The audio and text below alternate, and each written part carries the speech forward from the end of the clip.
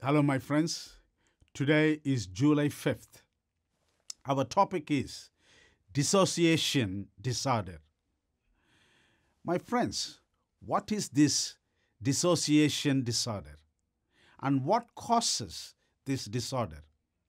Dissociation disorder is something that makes you detached from people and want to live alone due to fear, failure, and humiliation. Also, you might dissociate when you are very stressed or after something traumatic has happened to you. However, what is the consequences of dissociation disorder?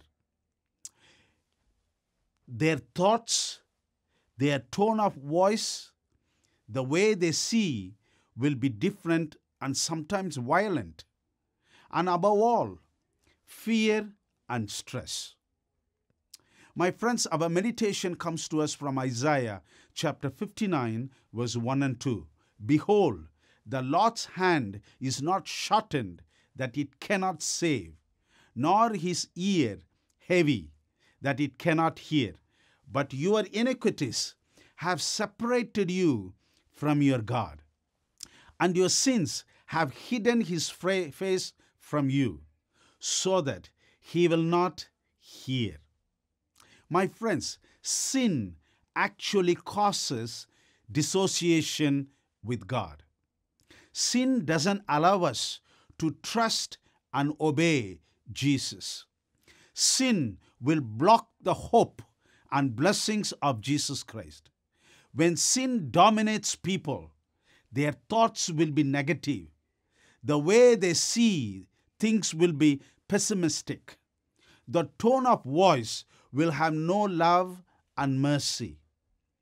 Anyway, my friends, how to deal with this spiritual dissociation? Three simple ways from the Bible, but very effective. Number one, Proverbs 17, verse 9. Forgive yourself first. Don't dwell upon your past bitterness. Come out of it. Forgive yourself. Just tell yourself, I should have not spoken like that. I should have not done like that. Just stop blaming yourself.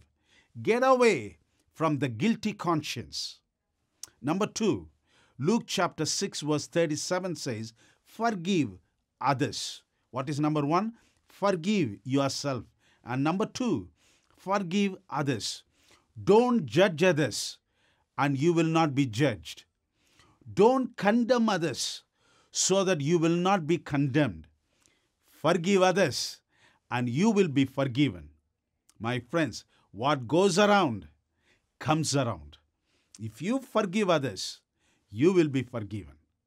And number three, First John chapter 1, verse 9. Confess your sins. Confession is one of the most effective spiritual decision. Confession will connect you and God instantaneously. If you confess your sin, God is faithful and just to forgive you your sins and cleanse you from all unrighteousness. My friends, are you feeling guilty about your past? Is your heart still burdened about what others have done to you? Would you like to have peace of mind from spiritual dissociation disorder? Here is the prophecy from Isaiah 59, verse 21. As for me, says the Lord, this is my covenant with them, my spirit who is upon you, and my words which I have put in your mouth shall not depart from your mouth, nor from the mouth of your descendants, nor from the mouth of your descendants' descendants, says the Lord, from this time and forevermore. Let's pray. Dear Lord, thank you so much for the assurance and hope you have given us. Many times we suffer spiritual disassociation disorder. Forgive our sins, Lord. Help us to forgive ourselves. Help us to forgive others and help us to confess so that you'll be faithful to forgive all our sins. Thank you so much, dear Lord, for that love. In Jesus' name we pray.